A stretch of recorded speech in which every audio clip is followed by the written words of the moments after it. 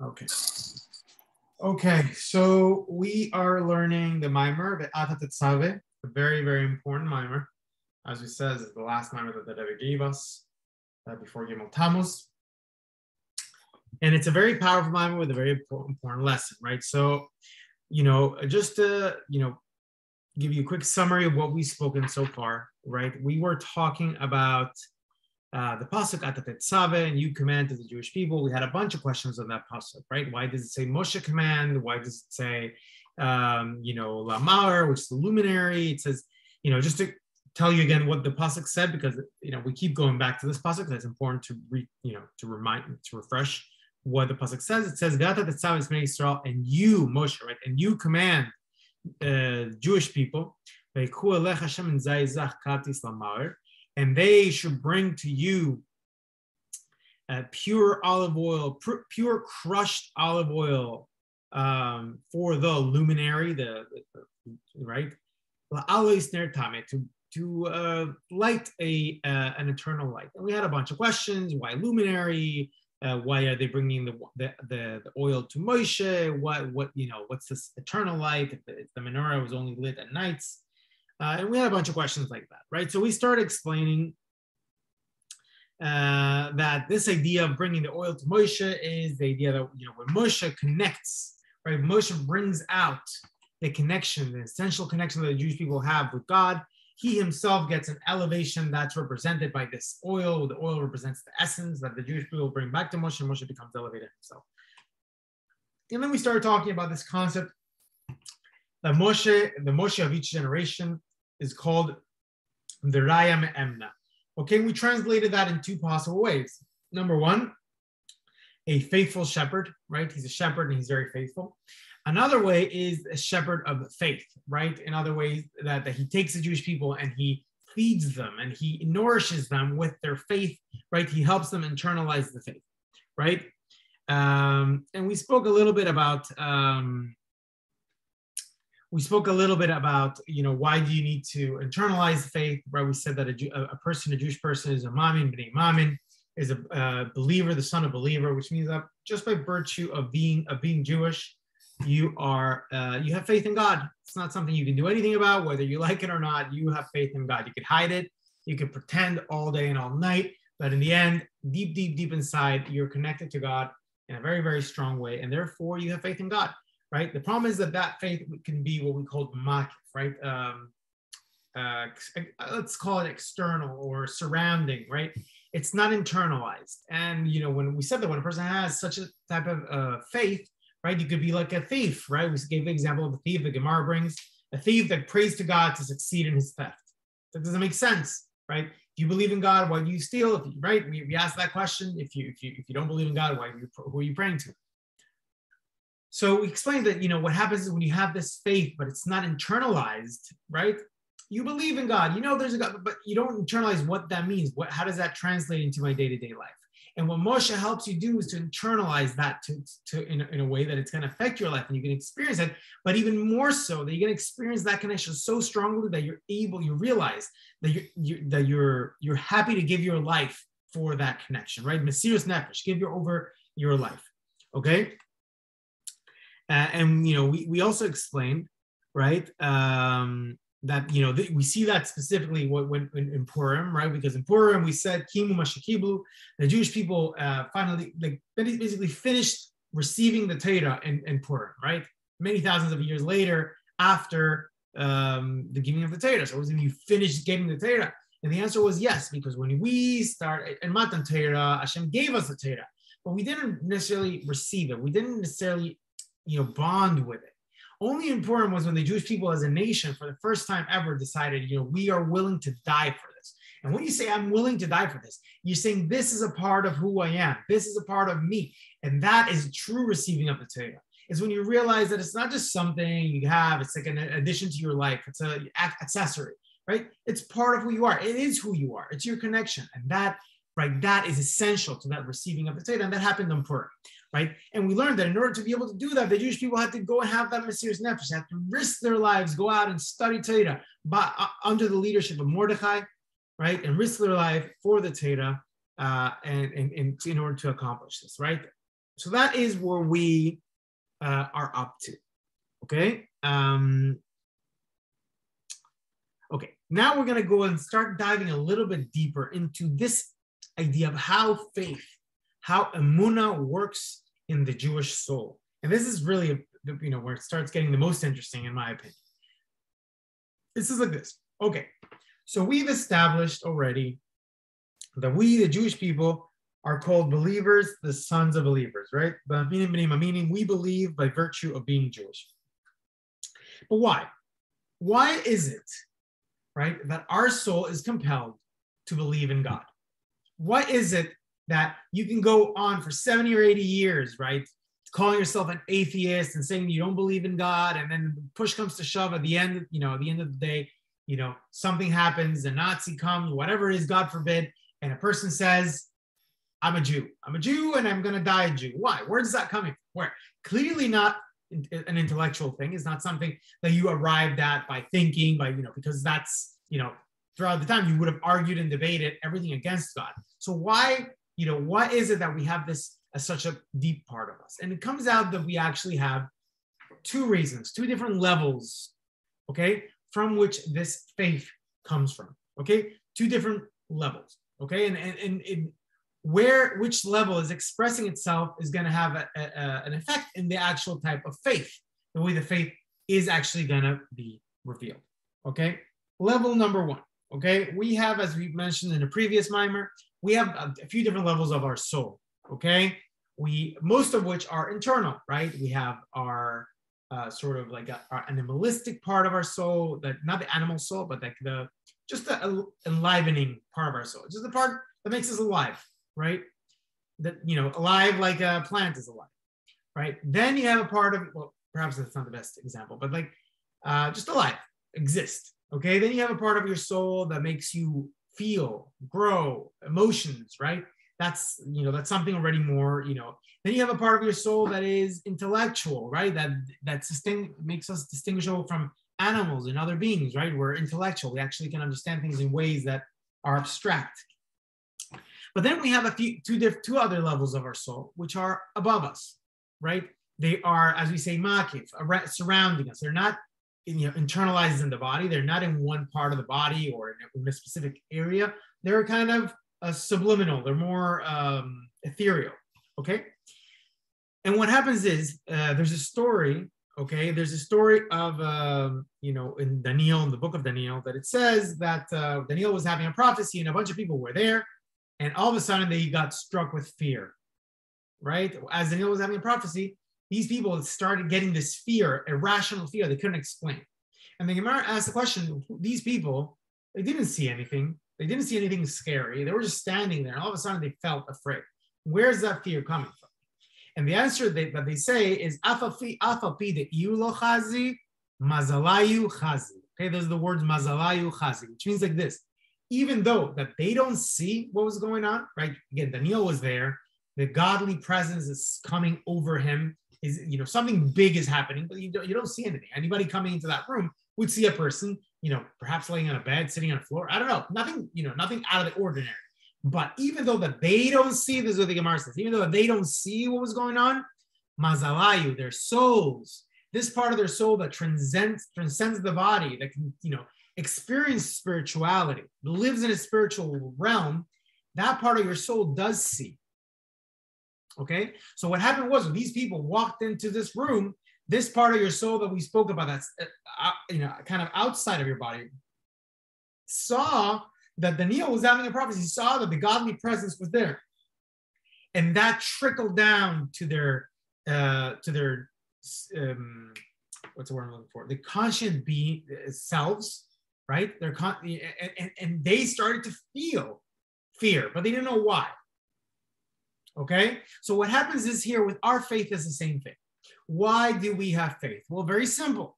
Step number, level number one, okay, more, more basic one, right? You have a part of your soul that lives and experiences the spiritual realm constantly, spirituality right? It's not limited by physical eyes and physical brain, and it doesn't see things in a physical way.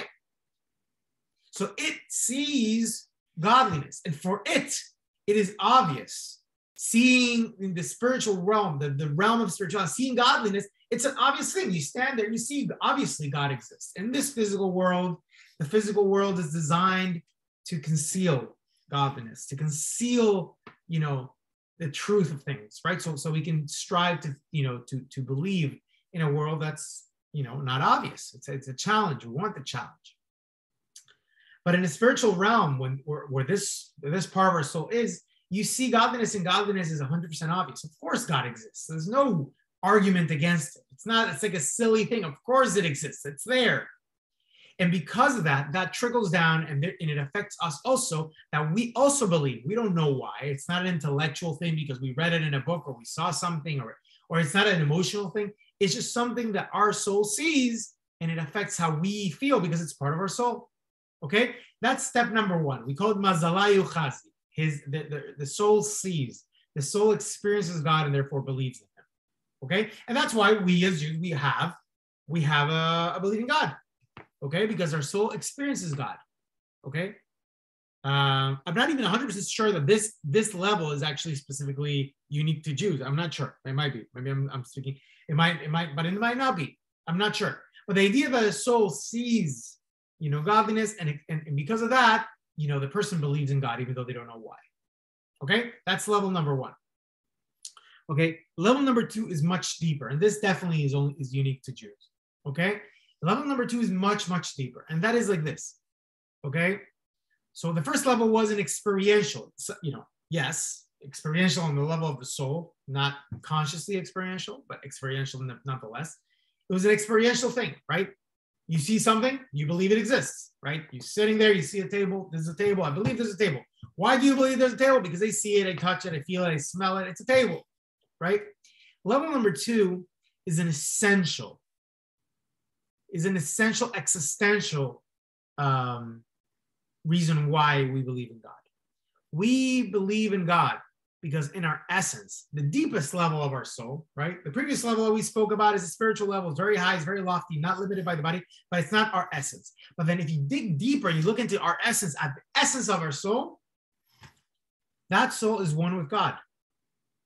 Is one with God. So, how? Why do we believe in God? the faith that comes from this level is not something that we see, we believe because we see. Is we believe because we are.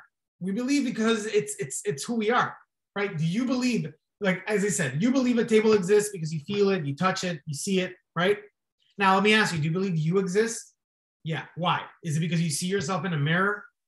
You believe you exist because you you, you touch yourself, right? You, you, can, you can feel your hands, you can feel your body. Like, is that what it is? No, you believe you exist because because you are. Here I am. It's me. Right? I'm not sure if this is a perfect example, but this is how I see it. Right? I don't believe that I exist because I see myself.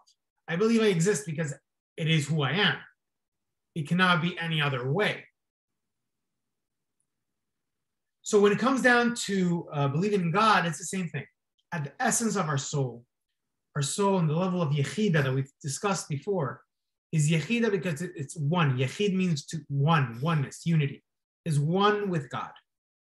So from that level, of course, there's no room for not believing in God, but not because it's obvious, because you see the, the spiritual existence of God as something external, but rather because it is who you are. It is one with you. And therefore, of course, it exists. It is who I am. It's my essence okay and that's where this this the, the, deepest part of the faith in god that the jewish person has comes from okay so there's these two levels one deeper than the next okay um and now the beauty of it is right when when we're talking about the faith that comes from the first level right the, the level of the, of the soul experiencing uh, divinity seeing divinity right then that generates a, a, a faith that is as we said makif surrounding, external, right? Why? Because this is a part of our soul that, as we said, is makif. It's not something internal. It's not something that we experience on a day-to-day basis. It's not something you know uh, uh, that's part of our conscience, right? It's it's subconscious, right? And because of that, it sees, it experiences, and it affects us. But its effect is also on us, makif. It's surrounding. It's not internal. It's not something that I experience in my body, right? I experience the effects of it, but I don't necessarily feel it in the way that it's uh, as internalized. However, when we talk about faith that comes from the essence of the soul, right? The essence of the soul in its highest level is the essence of the soul in the makif level, and it's the essence of the soul in the in the most internal level in our bodies. It's the same essence, right? The essence is the same through and through. It doesn't change, right? Your DNA is the same in your brain than in your toe. It's the same. It's the same. It's who you are, right? It doesn't change. Your brain might be the loftiest part of your body. Thinking about the, the deepest things, the deepest concepts and secrets in Theta, right? And your toe is just a toe, right? Toenail. Nevertheless, DNA doesn't change because it's the essence of our physical body. And that's the same through and through, right? So, and spiritually, is the same thing. So, when you have that essence of your soul is one with God, and that essence of your soul is also the essence of your body of your physical of, of your of your the lowest part of your soul right? So therefore it affects you in an internal way. That faith that comes out through you know from the essence of the soul affects you in the most internal way possible. Okay? And now we can understand that this that what the raya Me'emna does what the moshe of each generation tries to do is to bring out the essence of our soul that faith when we say that he's helping us internalize faith, right? He's feeding us with faith and nourishing us with faith. He's talking about the faith that comes from the essence of our soul, so that we're able to, to give, to have Mesiras Nefesh, to give our life over. Why? Because of that same reason, right? It is who we are, right? This faith comes from the essence of me, and that essence of me is one with God. And therefore, what do you mean? I'm not even giving my life for God. It this is my life. If that means somebody's gonna have to shoot me, that okay, but but but this is my life. I can't separate myself from God because I'm one with God. Okay? Um, okay. And now, based on this, we can explain something very interesting. Okay? We see that Moshe Rabbeinu, right? The, the Moses of each generation, they have the, the, the, the job of, you know, uh, giving us uh, un- understanding, right? Making helping us helping us understand, right? But and, and also, as we said, the, the job of helping helping us internalize uh, our faith to the extent that you know we're able to go on a Mesiras Nefesh, right? And even risk our lives and appreciate who we are in the face of all adversity. And in this sense, you could say that the Moshe Rabbeinu of the time of Purim, okay, Mordechai, um, actually did, you know, you can, his job in, the, in this regard of bringing, you know, bringing faith in an internal way to the Jewish people is, is even, he did so in a much more revealed way than with Moses, right? Moses, Moshe, right? His generation was called, was called the generation of knowledge he did his job of imparting knowledge to the Jewish people in a way that was brilliant, right? He did everything, right? He did. He was a full, you know, he was Moshe Rabbeinu. He did everything that Moshe Rabbeinu was supposed to do. But this part of him of imparting knowledge, internalizing knowledge, right, shone out the most brightly. But he wasn't facing the adversity that people in the time of Mordecai and in the time that we live today are facing, and that is right the adversity of galus of exile, where we need to live with Mesiras Nefesh right? And I say we also, even though we live in the United States, right, or in Israel, in you know, in the modern world where we don't feel we're being threatened, our lives are not being threatened. And I'm going to show you later why I say we need to live with Mesiras Nefesh, right? Because that's one of the lessons that we're going to get at this primer, right? How's Mesiras Nefesh applied to us? We're in a comfortable place. Nobody's holding a gun to my head, thank God. So how does Mesiras Nefesh apply to us? So, so I say we on purpose. We're going to get to why. Okay, not, not necessarily today, but we're going to get to what. But what I'm saying is, how do we live with Mesiras? Uh, you know, we need to live with Mesiras Nefesh. Mordecai needed to live with Mesiras Nefesh. The Jewish people in the time of Mordecai, what Mordecai did was help them internalize that faith, so they could come out with Mesiras Nefesh, right? Even in the time when they were when they were gonna that meant risking their lives. Okay, and that you can see it more in Mordecai than you can see it even with uh, with more with, with Moshe Rabbeinu. And okay. And that's what we say. The Midrash says that Mordechai was as big and as important in his generation, like Moshe was in his generation. Okay.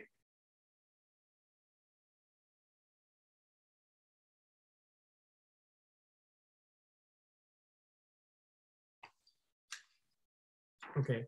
And then we finalize this this this section, right, of of the mimer saying, right, that the fact that the Frierdiker Rebbe, okay, because remember we were bringing, up, we keep bringing up a mimer of the Frierdiker Rebbe, the previous Lubavitcher Rebbe, the fact that the Frierdiker Rebbe brought this idea, right, that the the Mordechai in his generation was like Moshe in his generation, because he helped the Jewish people live with Mesiras Nefesh and go all out, no matter the adversity, right? Hints okay, at the fact that the Frierdiker Rebbe was doing the same thing. In the time of Frierdiker Rebbe, he lived in Russia, right? And we know the sort of adversity that the Jewish Russians needed to deal with and how they lived in a time where they weren't allowed to be Jewish. And nevertheless, the Frierdiker Rebbe came out like a lion and encouraged them and pushed them to say, we need to live like Jews because this is who we are. And people died and people gave their lives for Judaism. People gave their lives to build yeshivas and mikvahs and schools, right? All for the sake that Jewish people should be able to live like Jews, right? So we see that in a way, right, the Frierdiker Rebbe was alluding to himself as well, right? That the Frierdiker Rebbe also was doing the same thing. He was living in a deep, some of the, you know, the deepest years of Galus, right? Some of the deepest years of Galus during the time of the Holocaust and the time of the of the of the of the the communists and the times of you know all this crazy stuff, right? And he was sitting there pushing and pushing and pushing, saying, "We, no matter what, we need to live like Jews." Because when we're in Galus, only our body is in Galus, but not our soul. Okay? So I guess we'll stop here for today. And we can continue with Hashem next next week, okay? Do you guys have any questions?